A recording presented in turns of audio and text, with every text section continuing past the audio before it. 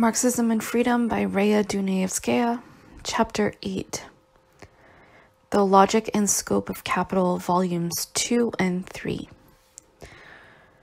All science would be superfluous if the appearance, the form, and the nature of things were wholly identical.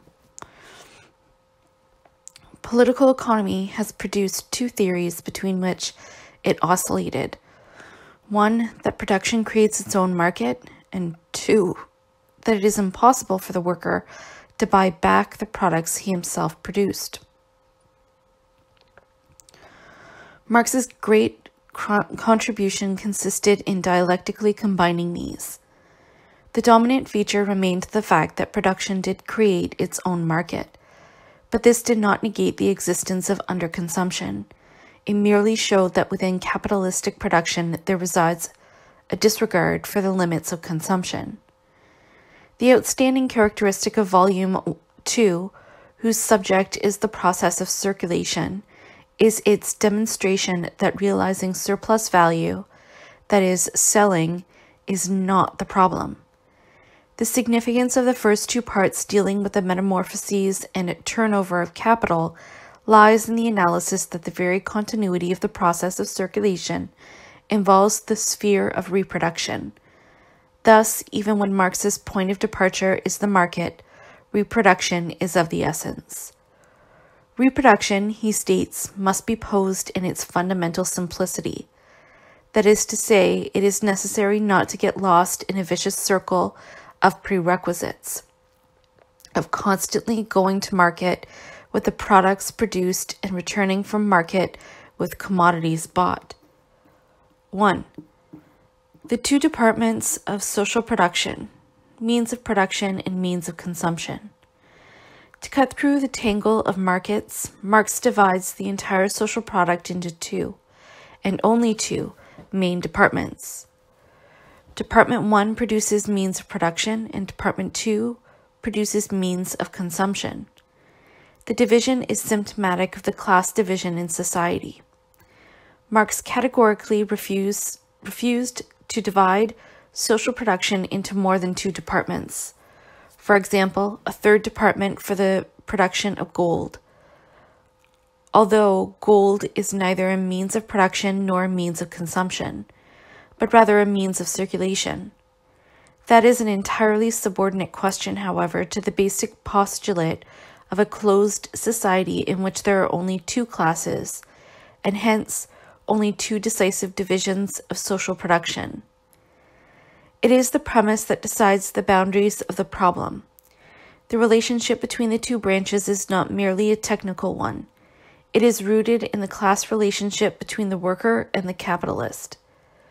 Surplus value is not some disembodied spirit floating between heaven and earth, but is embodied within means of production and within means of consumption. To try to separate surplus value from means of production and from means of consumption is to fall into the petty bourgeois quagmire of underconsumptionism. It is impossible to have the slightest comprehension of the economic laws of capitalistic production without being oppressively aware of the role of the material form of constant capital. The material elements of simple production and reproduction labor power, raw materials, and means of production are the elements of expanded reproduction. In order to produce ever greater quantities of products, more means of production are necessary. That, and not the market, is the differentia specifica of expanded reproduction. Marx established that the social product cannot be either means of production or means of consumption. There's a preponderance of means of production over means of consumption. Marx's point here is that the bodily form of value predetermines the destination of commodities. Iron is not consumed by people, but by steel. Sugar is not consumed by machines, but by people.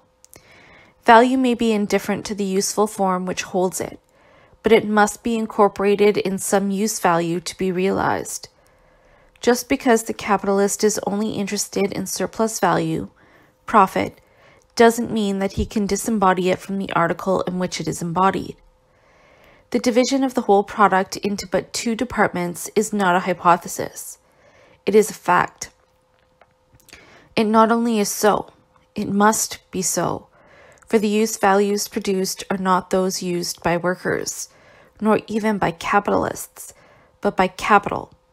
We can see this most clearly in this country, for example, where 90% of pig iron is consumed by the companies which produce it. 50% of the market for the products of the steel industry is the transportation industry.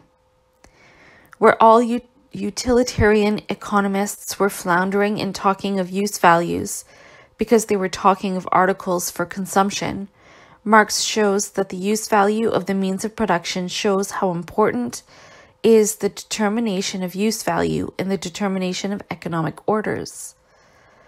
Under capitalism, the means of production form the greater part of the two departments of social production, and therefore also of the market. That is what Marx called the real being of capital, and that is why the market was not the problem.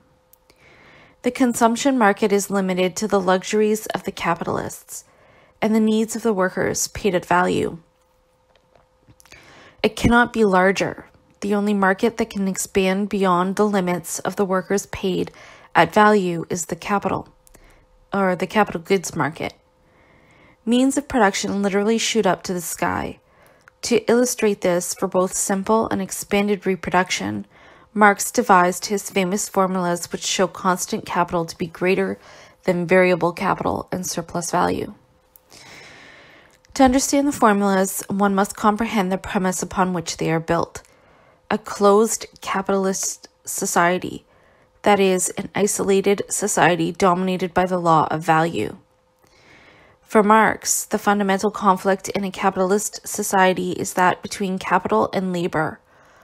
All other elements are subordinate. If this is so in life, then the first necessity in theory is to pose the problem as one between the capitalist and the worker, purely and simply.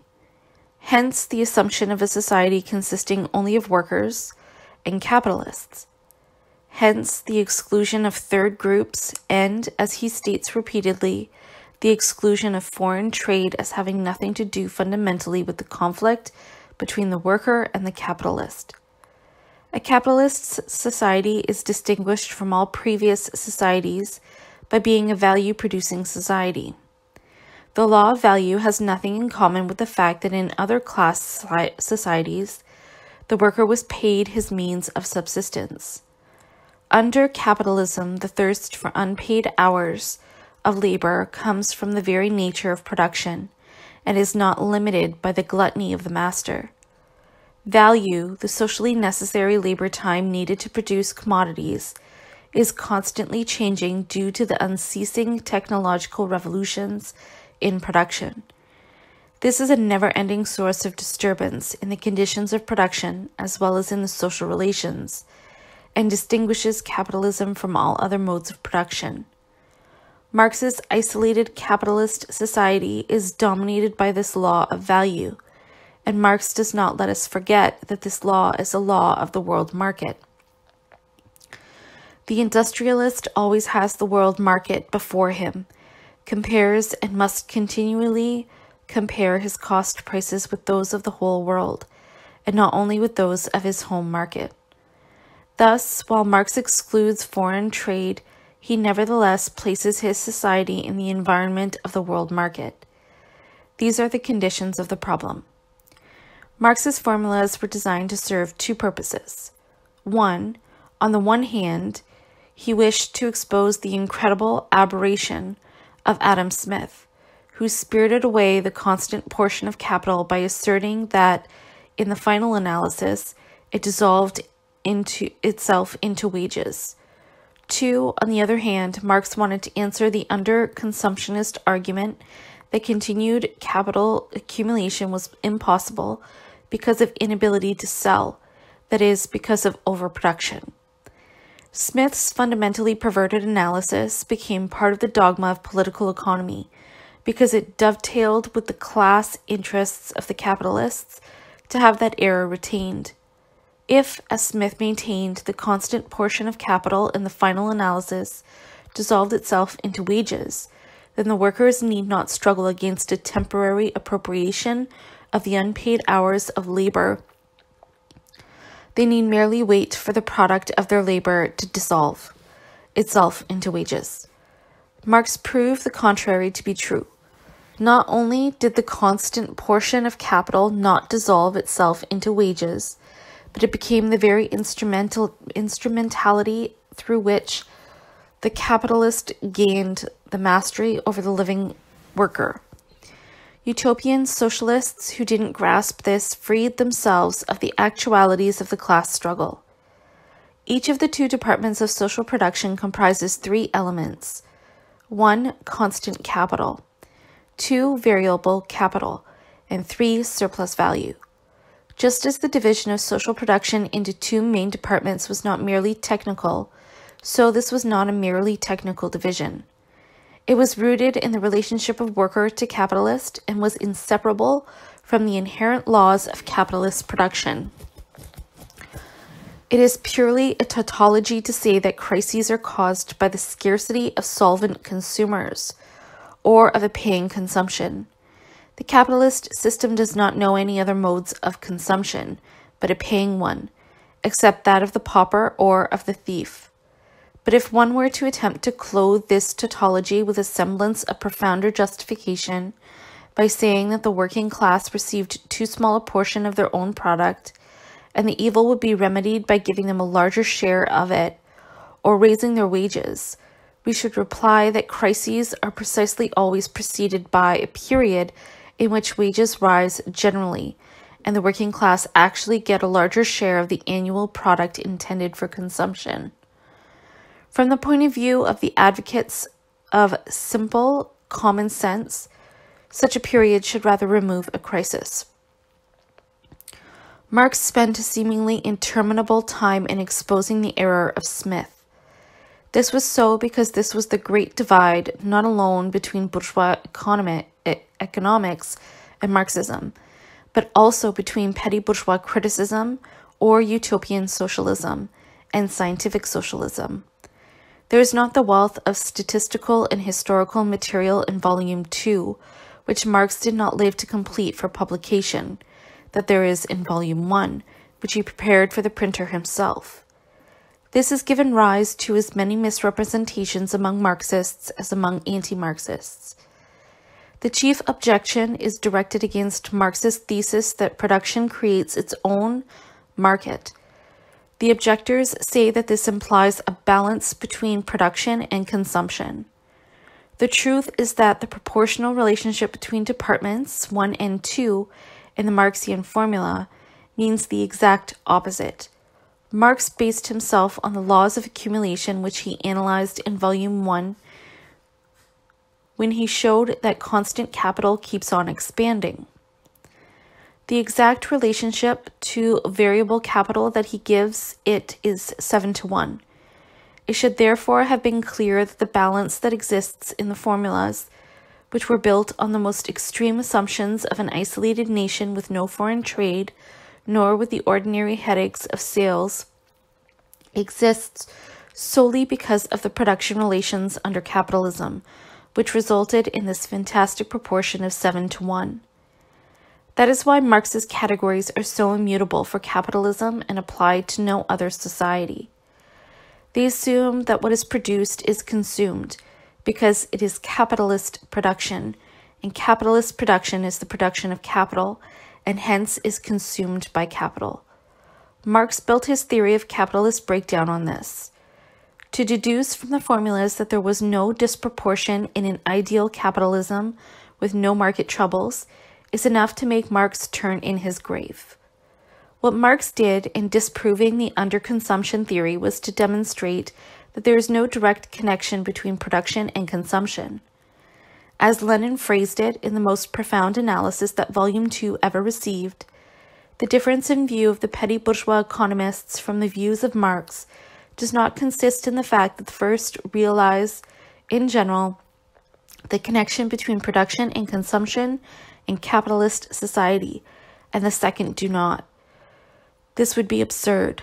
The distinction consists in this that the petty bourgeois economists considered this tie between production and consumption to be a direct one, thought that production follows consumption. Marx shows that, that the connection is only an indirect one, that it is connected only in the final instance, because in capitalist society, consumption follows production.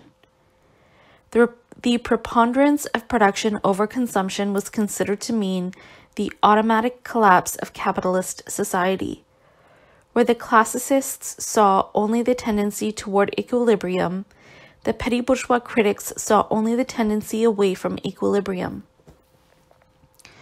Marx demonstrated that both tendencies were there inextricably connected.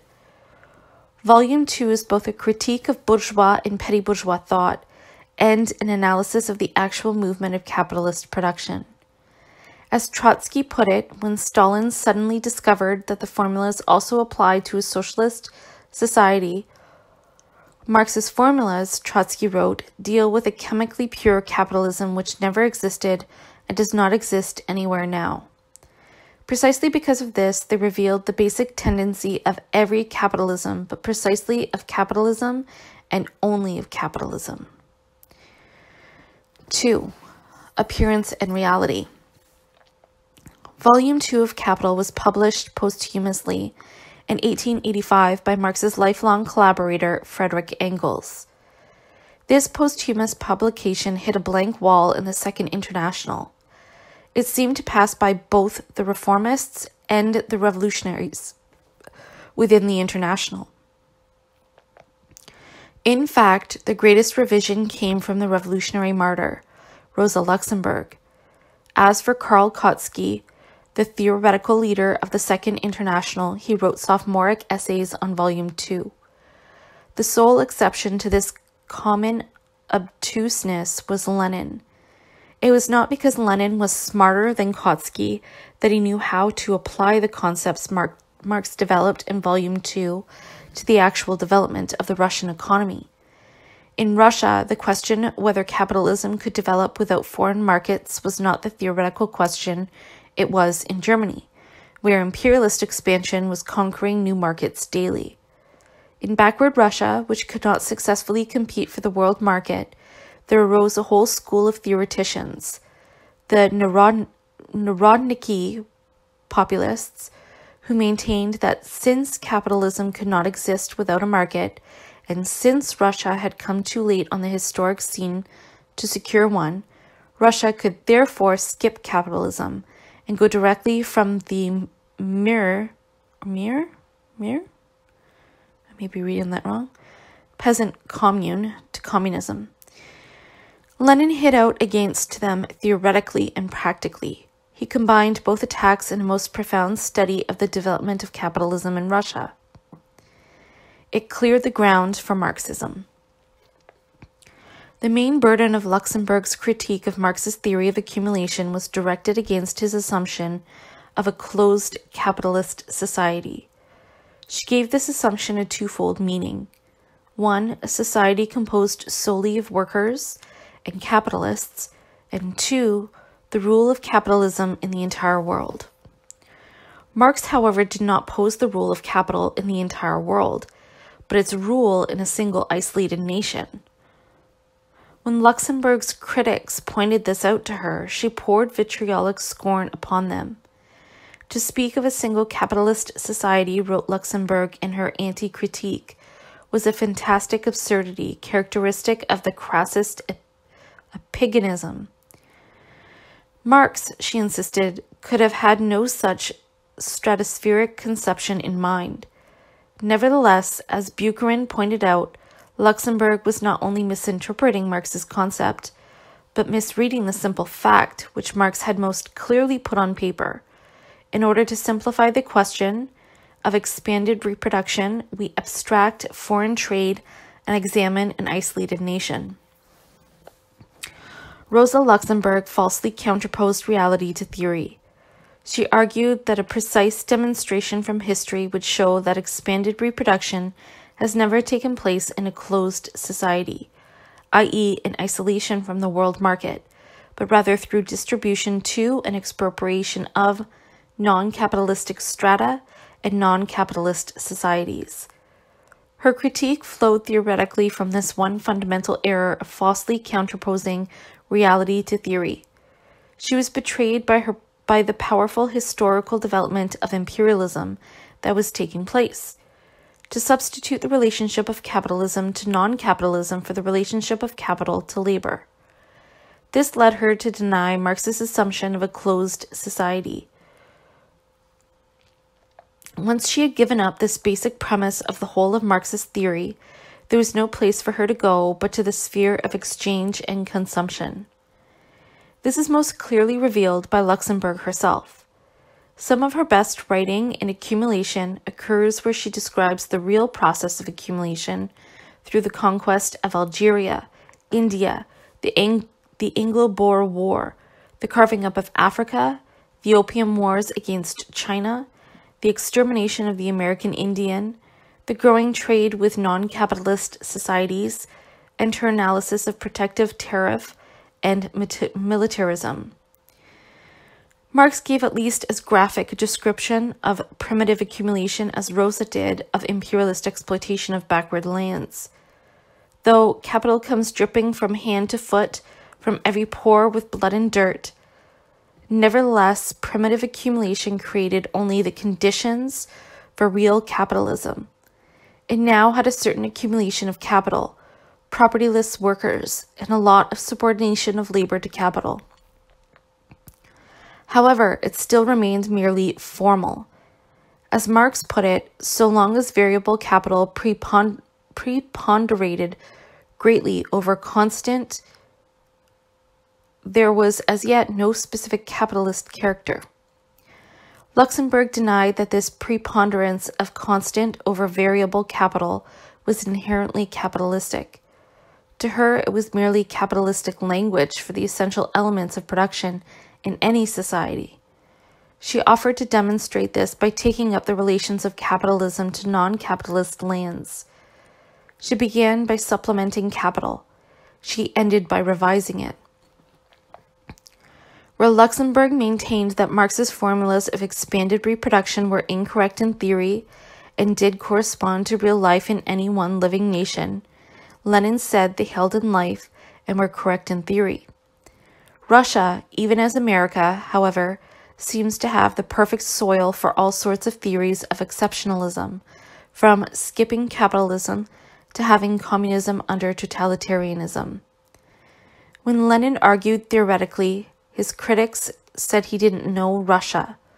When he showed from exhaustive Russian statistics that capitalism was indeed coming to Tsarist Russia, they said he didn't understand theory when he both won when he both won on the theoretical front and routed the Narodniki on the organizational front as well, the ideological children of the Narodniki, present day economists, state that it wasn't, after all, such a great feat, for it was not Marxism, but irrefutable economic facts which won over or won out. Precisely, that is the logic of Volume 2. It is necessary to bear in mind that the passage in Volume 1 of Capital, which deals with the ultimate development of the centralization of capital in the hands of a single capitalist or single capitalist corporation, did not appear in the early editions of the work. He added this passage only after the Paris Commune, which was the period when he discussed with Engels the, con- the concentration of all capital in the hands of the state. Volume 1, on which Marx never stopped working until the day of his death in 1883, is the one complete volume we have from his own hand.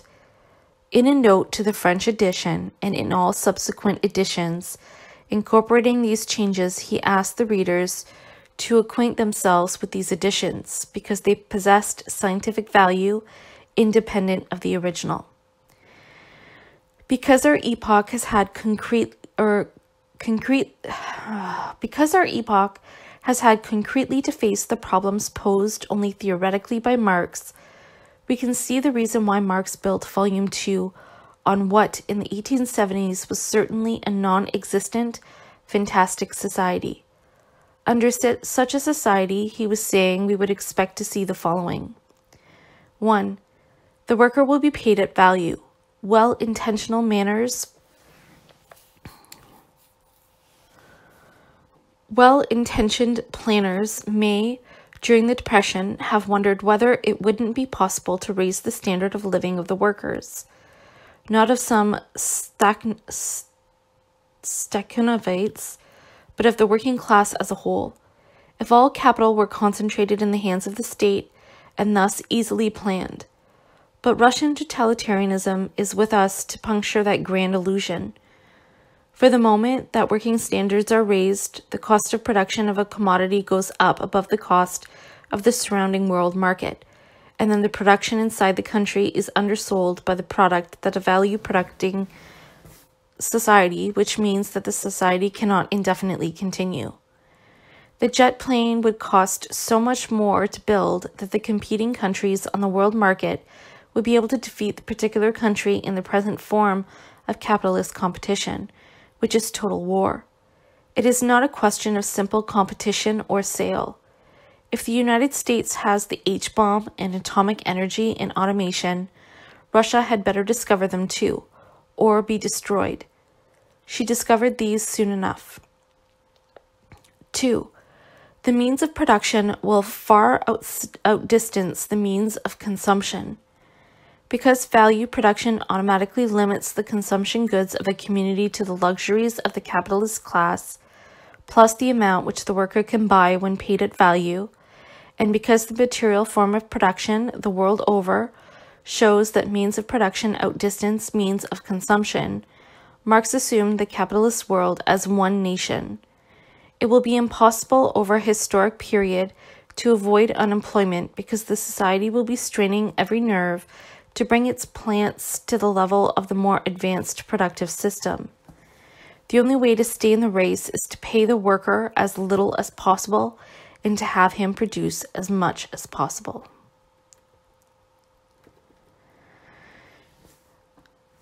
The fundamental error of those who cannot understand that a single capitalist society is governed by the same laws as a society composed of individual capitalists is that they simply will not understand that what happens in the market is merely the result and the consequence of the inherent difficulties in the process of production itself.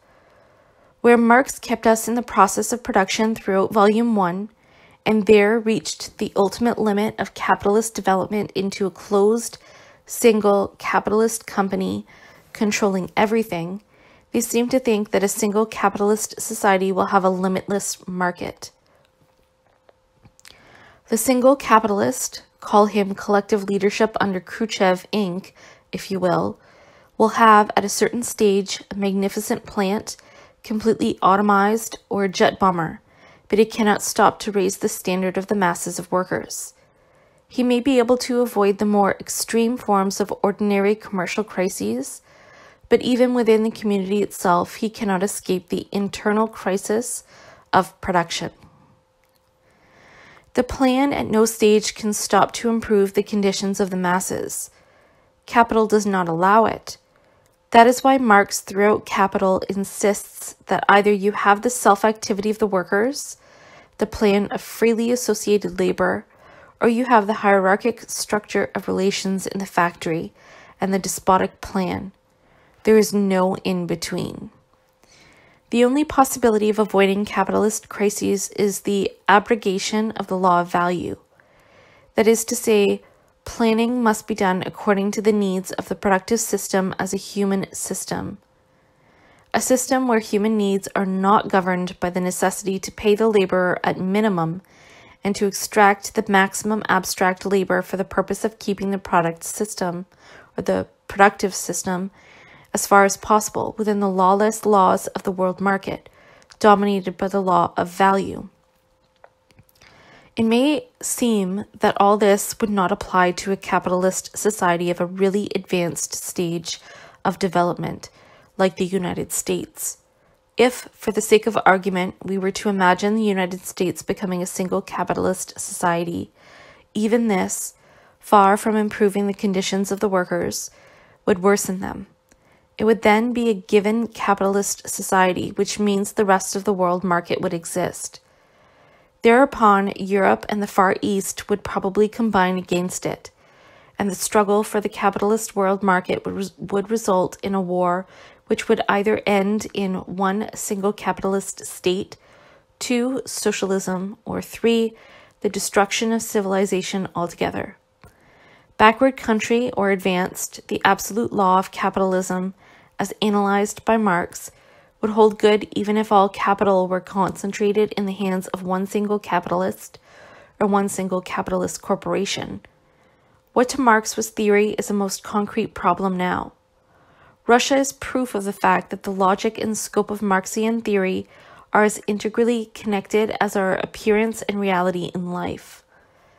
The mystic Hegel saw clearer the relationship of the dialectic to life than our present pragmatists, who laugh at the dialectic and meet each fact of life as an unforeseen phenomenon.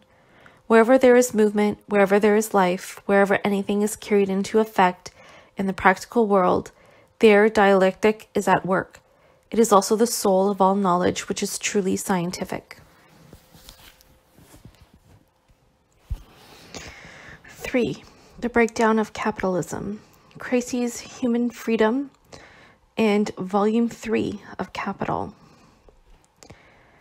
At last we have arrived at the forms of appearance which serve as the starting point in the vulgar conception ground rent coming from the earth, profit, interest from capital, wages from labor.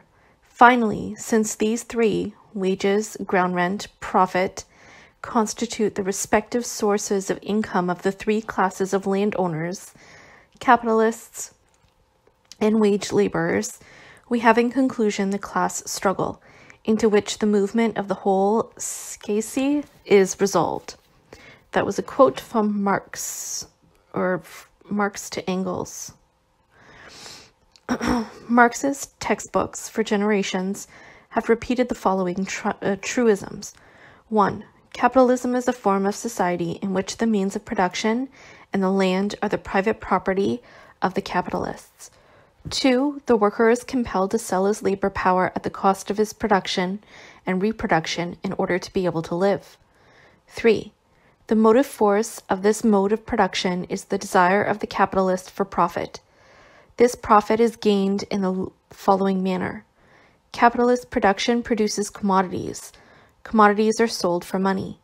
The money contains what the capitalist spent plus a surplus, part of which is his profit. In order that the society may be looked upon as capitalist, it seems essential to have this process of money in the pocket of the private capitalist, the buying of labor power and means of production the production of commodities, the selling of the commodities on the market for money, etc. All this is true, but it is not the whole truth. Marx did not have to spend 40 years to prove that. Marx's primary theory is a theory of what he first called alienated labor, and then abstract or value producing labor. He analyzed commodities and showed that the exchange of commodities is an exchange of certain quantities of labor. Commodities in general had been exchanged more or less sporadically for centuries before capitalism. Capitalism begins when the capacity to labor becomes a commodity.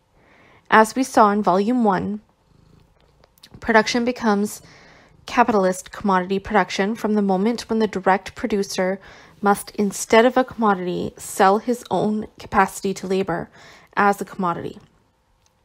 Hence, it is more correct to call the Marxist theory of capitalist of capital not a labor theory of, of value, but a value theory of labor. Marx repudiated entirely the idea that the sale and purchase of labor power is the essential mark of capitalist society. In Volume 1, he showed how this pertained only on the surface, that it was only an apparent exchange, the relation of exchange subsisting between the capitalist and the laborer becomes a mere semblance pertaining to the circulation, a mere form, foreign to the real nature of the transaction, and only to mystify it. The ever repeated purchase and sale of labor power is now mere form. What really takes place is this the capitalist again and again appropriates without equivalent a portion of the previously materialized labor of others and exchanges it for a greater quantity of living labor. In Volume 2, he wrote the peculiar characteristic is not that the commodity, labor power, is saleable, but that labor power appears in the shape of a commodity. This perversity is due to the perverse nature of capitalism, where dead labor dominates over living labor, and where relations between men appear as if they were relations between things. It is, however, quite characteristic of the bourgeois horizon, which is entirely bounded by the craze for making money, not to see in the character of the mode of production the basis of the corresponding mode of circulation, but vice versa. In Volume 3, he stated The way in which surplus value is transformed into profit via the rate of profit is but a continued development of the perversion of subject and object taking place in the process of production. And again, we have the complete mystification of the capitalist mode of production, the transformation of social conditions into things, the indiscriminate amalgamation of the material conditions of production with their historical and social forms. It is an enchanted, perver- perverted, topsy turvy world in which Mr. Capital and Mistress Land carry on their goblin tricks as social characters and at the same time as mere things. Indeed, he says these same things in a thousand different ways throughout his work. That is the content and form, the essence and the absolute of the whole analysis. It is obvious from the very nomenclature that the primary feature of commodities in general is that they are sold on the market. It should be equally obvious that the fundamental feature of labor power as a commodity is not that it is bought or sold on the free market but the specific function it performs in the process of production, where it is a source not only of value, but of more value than it has itself. This is the issue. This is the hub around which all Marxist economic theory, production, volume 1, circulation, volume 2, and forms of the process as a whole, volume 3, revolves. Marx develops his analysis of capitalism on different levels of abstraction, and each level has its own dialectic. In Volume 1, the categories which enabled us to comprehend the realities of production were constant and variable capital, labor power. In Volume 2, where we are on the surface of society, the categories which disclose the inner mechanism are means of production and means of consumption. In Volume 3, it is the decline in the rate of profit, the general contradiction of capitalistic uh, production that reveals its law of motion and points to its collapse. It took the crash of 1929 to open the skulls of the academic economists to Marx's analysis of the breakdown of capitalism. It then became a popular pastime to say that if Marx had only shed his Hegelianism, taken off the mysticism with which he enveloped the concept of value, and begun instead with Volume 3, where he deals with real life, that is to say, the surface phenomena of competition, profit, rent, etc., his prophecies of big business and cyclical crises would have been easy to see, and they would have learned much from him. Marx dealt with that type of argumentation a half century before. That is why he pointed out that the annual process of reproduction is easily understood so long as we keep in view merely the sum total of the year's production but every single component of this product must be brought into the market as a commodity, and there the difficulty begins. The movement of the individual capital and of the personal revenue cross and intermingle and are lost in the general change of places, in the circulation of wealth in society. This dazes the sight and it propounds very complicated problems for solutions. He not only pointed to the difficulty, we find that he warned against the easy way out such as beginning with the surface phenomena of profit rather than the production reality of surplus value. We shall show in Book 3 that the rate of profit is no mystery so soon as we know the laws of surplus value. If we reverse the process, we cannot comprehend either the one or the other. The third volume, which presumably best meets the taste of the academic economists, analyzed life in the capitalist market as it really is. We learn that commodities sell, not at value, but at price of production, that surplus value is not an abstraction, congealed unpaid labor, but that its real form is threefold. One, profit for the industrialist, two, rent for the landlord, and three, interest for the banker. That capital is not only a social relation of production, but that it has a bodily form of money capital. Here we study the role of credit and even get some glimpses into swindling. And what is the grand result of learning all the facts of life? How have they changed the laws that arise from the strict process of production, which the academic economists call abstract? Not at all. Not at all. At the end of all these intricate transformations of surplus value into ground rent, interest and profit, as well as the conversion of values into prices, rate of surplus value into rate of profit, etc., at the end of it all, Marx takes us back to that on which it is based production of value and surplus value. He shows us that in the final analysis, the sum of all prices is equal to the sum of all values. Where the worker has created nothing, the capitalist manipulator can get nothing. Profit, even as surplus value, comes not from ownership, but from production. To get at the real cause of crises, Marx makes an abstraction of the bogus transactions and speculations which the credit system favors. Nothing fundamental is changed, nothing whatever. Labor power, which is the supreme commodity of capitalist production, because it alone creates capital, is still a commodity sold at value and still in the process of production and not in the process of exchange or the market creates a greater value than it itself is. Note the far reaching insight of Marx into the doom of value production out of its own inherent laws of development. In order to produce the same rate of profit, when the constant capital set in motion by one laborer increases tenfold, the surplus labor time would have to increase tenfold, and soon the total labor time, and finally the fully 24 hours a day would not suffice, even if wholly appropriated by capital. Even the concept of a single capitalist society pales before the concept of appropriating the value of fully 24 hours a day. Marx makes this extreme assumption because in no other way can he express the fundamental movement. What Marx is saying is that even if the worker learned to live on air and could work all 24 hours a day, this ever expanding monster of machine production could not keep, an ex- keep on expanding without collapsing, since living labor is the only source of this value and surplus value. Since that is exactly what is constantly being cut relatively to the ever greater machines that are being made and used, there just wouldn't be sufficient surplus value to keep the thing going. The real barrier of capitalist production, Marx concludes, is capital itself. It is the fact that capital and its self expansion appear as the starting and closing point, as the motive and aim of production. That production is merely production for capital and not vice versa. The means of production, mere means for an ever expanding system of the life process for the benefit of the society of producers. In opposition to this, he points to the fact that the realm of freedom does not commence until the point is passed where labor under the compulsion of necessity and external utility is required. In the very nature of things, it lies beyond the sphere of material production in the strict meaning of the term. The constant revolutions in production and the constant expansion of constant capital, writes Marx once again, necessitate, of course, an extension of the market.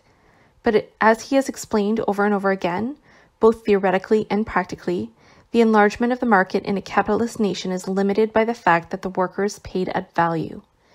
This is the supreme manifestation of his simplifying assumption that the worker is paid at value.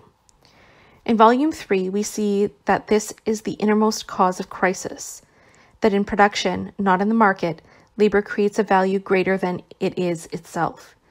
The worker is a producer of overproduction. It cannot be otherwise in a value producing society where the means of consumption, being but a moment in the reproduction of labor power, cannot be bigger than the needs of capital for labor power. that is the fatal defect of capitalist production. On the one hand, the capitalist must increase his market. On the other hand, it cannot be larger. The crisis that follows is not caused by a shortage in effective demand.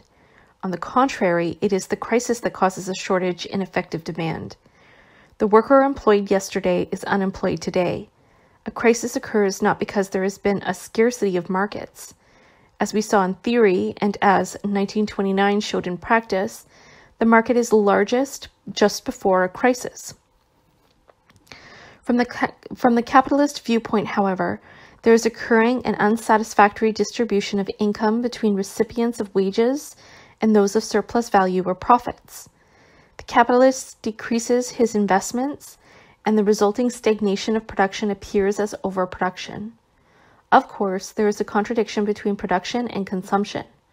Of course, there is inability to sell, but the inability to sell manifests itself as such because of the fundamental antecedent uh, decline in the rate of profit, which has nothing whatever to do with inability to sell. Marx considered the theory of the declining rate of profit to be the pons asini of the whole political economy, that which divides one theoretic system from another. The classical political economists felt it, but they couldn't understand it, because they could not conceive that the capitalist system, which they considered not a historical transitory system, but a permanent one, has something in its vitals that would doom it. When Marx showed that decline in the rate of profit was due to the fact of the relative ever smaller use of living labor, which is the only source of surplus value, to ever greater use of machines, the capitalists pointed instead to the mass of products and hence the mass of profits. They thought thereby to forget the fall of the rate. Even some Marxists considered that the tendency for the decline in the rate of profit had so many counteracting tendencies in the mass of profits from mass production and in imperialist expansion that it was central to no one's, not even Lenin's, thinking before 1929. Only then people began to see that this was not theory but reality. They then began to look for solutions everywhere except in the reorganization of the process of production itself by the laborer himself. What Marx is describing in his analysis of what he calls the general contradiction of capitalism is 1.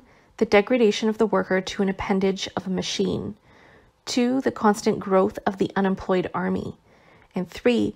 Capitalism's own downfall because of its inability to give greater employment to labor. Since labor power is the supreme commodity of capitalist production, the only source of its value and surplus value, Capitalism's inability to reproduce it dooms capitalism itself. As we saw from the beginning, Marx's critique of capitalist society was based primarily on the perverse, inverted relation of dead to living labor at the point of production, and extend, extended to the surface of society where the fetishism of commodities made the relation between people assume the fantastic form of the relations between things. Now, in Volume 3, he says the very existence of commodities, and especially of commodities as products of capital, implies the externalization of the conditions of social production and the personification of the material foundation of production, which characterized the entire capitalist mode of production. Over and over again, Marx categorically asserts that since all labor under capitalism is forced labor, Plan can be nothing but the organization of production under the domination of the machine. As he told Proudhon from the first, to try to bring order into the anarchy of the market of a society based on the factory plan could only mean subjecting society to one single master. Marx warned then not to see the plan inherent in the activity of the revolutionary proletariat must force one to pose an external factor to do the planning. He dismissed with great contempt Proudhon's plan to do away with exchange. In unraveling the inner contradiction, Marx shows that in capitalism's disorder is its order. Proudhon was neither the first nor the last of the planners, as our age knows much better than Marx's planning is not limited to idealists. The abstract materialist who views techno- technological development outside of the class relationship also slips back into considering the capitalistic factors of production as mere factors of any social form of production. That is why Marx created new categories to describe the manner in which machines and labor unite under a capitalistic economy. Marx developed his analysis of capitalist production in opposition to all planners, abstract materialist as well as idealist.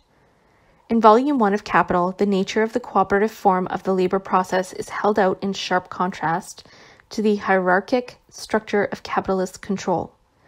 In Volume 2, Marx isolates the capitalist notion and analyzes it as a unit. We must not follow the manner copied by Proudhon from bourgeois economics, which looks upon this matter as though a society with a capitalist mode of production will lose its specific historical and economic characteristics by being taken as a unit. Not at all. We have in that case to deal with the aggregate capitalist. As we saw, the whole of Volume 2 is built not on individual private capital, but on aggregate national capital. In Volume 3, Marx returns to the creative plan in the working or in the work. In Volume 3, Marx returns to the creative plan of the workers as the plan most adequate to their human nature and most worthy of it. Just as the savage must wrestle with nature in order to satisfy his wants, in order to maintain his life and reproduce it, so civilized man has to do it, and he must do it in all forms of society in all possible modes of production. With this development, the real the realm of natural necessity expands because his wants increase but at the same time, the forces of production increase by which these wants are satisfied. The freedom in this field cannot consist of anything else but of the fact that socialized man, the associated producers, regulate their interchange with nature rationally, bring it under their common control, instead of being ruled by it as by some blind power, that they accomplish their task with the least expenditure of energy under conditions most adequate to their human nature and most worthy of it but it always remains a realm of necessity. Beyond it begins that development of human power which is its own end, the true realm of freedom, which, however, can flourish only upon the realm of necessity as its basis. The shortening of the working day is its fundamental premise. Thus, we see that it isn't only the young Marx, but the mature Marx to whom the creative role of labor is the key to all else. It isn't only that this creative plan of the workers, in opposition to the authoritarian plan of the capitalist, permeates all three volumes of Capital. It is that the actual necessity of revolt will arise out of the fact that capitalism, as conditions, activity, and purpose, is destroying society. The only force which can overcome this necessity, therefore, is a freedom which, in itself and for itself, inseparably combines objective conditions, subjective activity, and purpose. In the Grand Grundrisse, Marx said that once the productive process is stripped of its antagonistic form, the measure of wealth will then no longer be labor time, but leisure time. The free time liberated from capitalist exploitation would be for the free development of the individual's powers. The conception of freedom that the young Marx had when he broke from bourgeois society as a revolutionary Hegelian, remained with him throughout his life. Essentially, Marx said what he wanted to say. This is true not only of volumes 2 and 3, which Engels edited with scrupulous care and presented exactly as Marx had written, but even Book 4, with the structure of which Karl Kautsky did tamper when he published it, at, published it as Theories of Surplus Value. The, reason, the reason is that Volume 1, published by Marx, is not only, as he put it, a whole in itself, it is the whole. He reorganized the last part, accumulation of capital, in order to show 1. Where volumes 2 and 3, including theories of surplus value as book 4 of volume 3, belong logically. 2. How they are dialectically connected with volume 1. And 3 what is the law of motion of capitalism in general and the dialectic of his analysis in particular. The historical tendency of capitalist accumulation thus ends with the two absolute opposites capital accumulation and the revolt of the workers headed for a clash, and at the same time going in opposite directions. The first to its collapse, the second creating the new passions and forces for reconstructing society on new socialist humanist beginnings. There are theoreticians who are willing to say that the analysis holds for Russia, but not in the exceptional soil of America. If it wasn't the American frontier that made America different, it was the American pragmatic character, and if not that, it is that the American workers aren't class conscious. Be that as it may, the economists now do give Marx credit for understanding history. Some even admit that economic theory has indeed been running a losing race with history except in the case of Marx.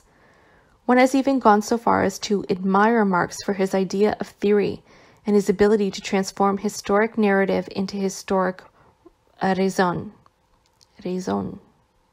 but none of the slightest conception.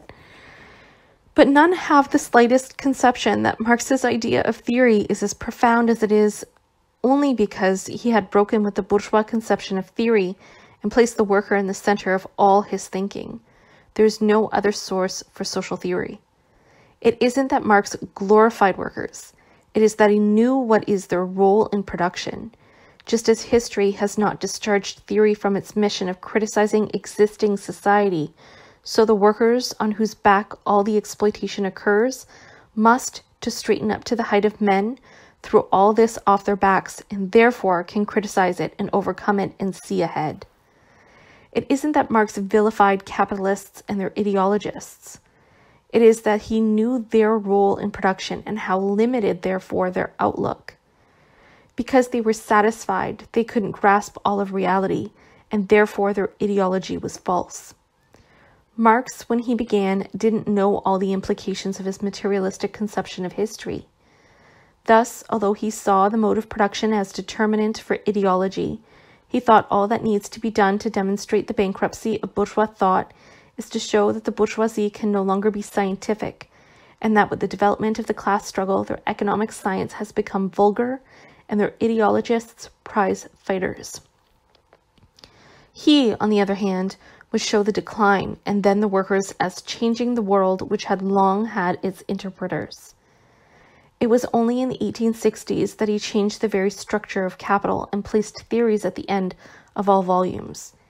As we saw, it was in that period that he gave the explanation that what was written first was put last, because that is the ordinary way a theoretical work develops.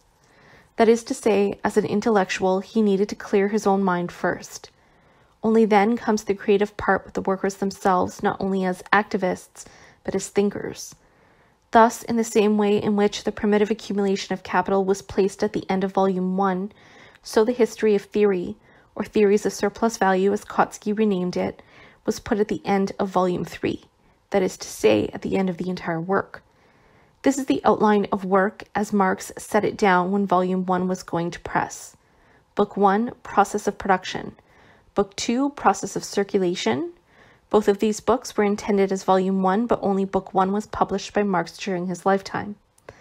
Book 3, Forms of the Process as a Whole, and Book 4, History of Theory. The entire work has been completed when the first volume went to press. After the second edition of Capital, Volume 1, Marx reworked Volume 2. It is the last piece of work we have from his pen. If there is any truth at all to the incomplete state in which Volumes 2 and 3 were published, it is the exact opposite of what is implied by those who are so anxious to stress the incomplete state of the manuscripts. Marx himself tells us how he intended to change the manuscripts, or rather the extent to which he would have changed them had he lived to edit them himself. He says in his letter to Danielson, the Russian translator of Volume 1, not to wait for Volume 2. First of all, I would under no circumstances consent to publish the second volume before the present English industrial crisis has reached its limit. It is necessary scrupulously to follow the present development of events to their full maturity before you are in a position to utilize these facts productively, I mean theoretically. Meanwhile, strikes and disturbances everywhere. Secondly, a tremendous mass of material received by me not only from Russia, but also from the United States, etc., gives me a pleasant excuse to continue research instead of definitive, definitive, definitively working over for publication. The United States at present have overtaken England in the rapidity of economical progress, though they lag behind in the extent of acquired wealth. But at the same time, the masses are quicker and have greater political means in their hands to resent the form of a progress accomplished at their expense. I need not prolong the antithesis. It is clear that Russia and America were to play the role in volumes 2 and 3 that England played, played in volume 1. Lenin filled it out for Russia. In their attitude to automation, the American workers are concretizing this for America. Marx removed the question of value from a dispute among intellectuals and transformed it into a question of the struggle of the proletariat for a new society. The material and the ideal were never too far apart. He best summarized his own social vision when he defined the new social order as a society in which the free development of each is the condition for the free development of all, and that never again would the rights of the state be counterposed to that of the individual. Human freedom is the principle toward which he worked, and his philosophy can be most fittingly called a new humanism. There was no difference between Marx the Hegelian and Marx the revolutionary, nor between Marx the theoretician and Marx the practical organizer. He finished Capital and turned to the Paris Commune not merely as activist and materialist, but as idealist. As we saw, he himself summed up most profoundly the fact that the ideal is never far from the real when he wrote that the communards have no ideals to realize but to set free the elements of the new society.